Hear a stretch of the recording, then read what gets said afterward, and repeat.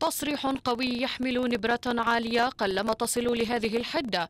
ذلك الذي صدر عن وزير الطاقة الإسرائيلي يوفال شتاينتز حيث حذر الأخير من أن حياة رئيس النظام السوري بشار الأسد ستكون مهددة إذا ما سمح لإيران بشن حرب على إسرائيل انطلاقا من سوريا.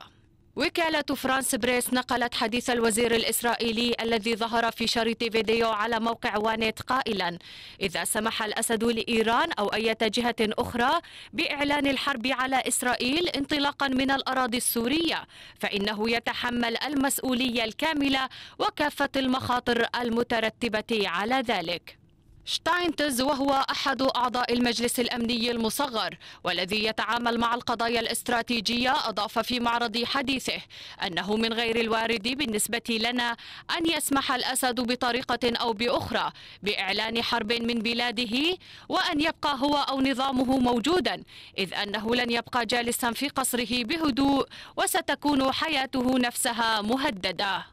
وبدأ من حديث شتاينتز تصميم إسرائيل على منع التواجد الإيراني العسكري على الحدود الشمالية لإسرائيل. وقال آمل أن يكون ذلك واضحا للإيرانيين ولبشار الأسد وألا يأخذ على عاتقه المخاطر التي سيندم عليها في المستقبل. ويرى مراقبون أن هذا التصريح يكتسب أهمية مضاعفة من حيث توقيته الذي جاء مع بدء سخونة الأجواء في المناطق الجنوبية لسوريا وخصوصا تلك المحاذية منها للحدود الإسرائيلية. هذه المنطقة التي باتت تنتظر شرارة تعلن انفجار برميل البارود الكامن هناك. وبما يزيد الأمر سوءا هو كثرة القوى المتواجدة على هذه الرقعة من الأرض والتي تعد صغيرة مقارنة بحجم القوات والأجندات التي تنشط فيها.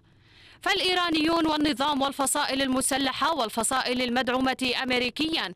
وقبل هذا وذاك الحدود الإسرائيلية والجيش الإسرائيلي. وكل هذا الزحام يجعل المواجهة قريبة وما يفصل عنها هو إعلان ساعة الصفر لبدئها.